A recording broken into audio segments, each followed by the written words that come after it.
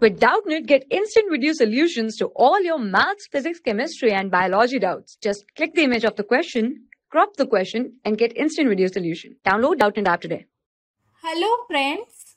So in this question it is given that find the number of digits in 18 to the power 20. Okay.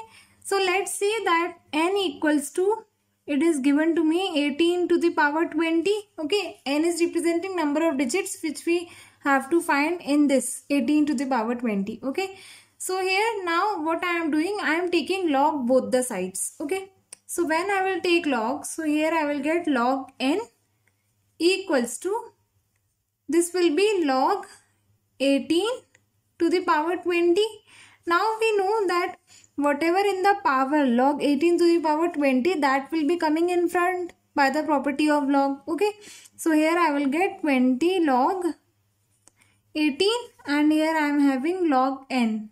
Okay. Now log 18 can be written as what? Log 18 can be written as 3 square into 2. 3 square is what? 9 and 9 into 2 will be 18. Okay. So I can write like this so that it will be easy to solve. So 20. Now we know that log a into b can be written as log a plus log b. Okay. So log 3 square plus log 2 okay now here what I will get log 3 square it means what log 3 square so this 2 will come at front by the property of log so 2 log 3 plus log 2 okay. Now here 20 into 2 into the value of log 3 is 0 0.47 okay. So 0 0.47 plus the value of log 2 is 0 0.301 okay. So here what I will get? 25.1 which is the value of what? My log n.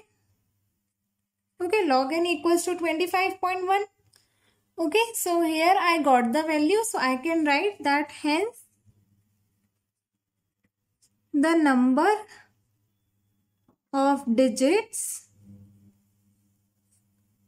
in 18 to the power 20 is 26 okay you have to write in round figure so i am writing it 26 okay so i hope you understand the question. Thank you. For class 6 to 12 IIT JEE and NEET level trusted by more than 5 crore students. Download Doubtnut app today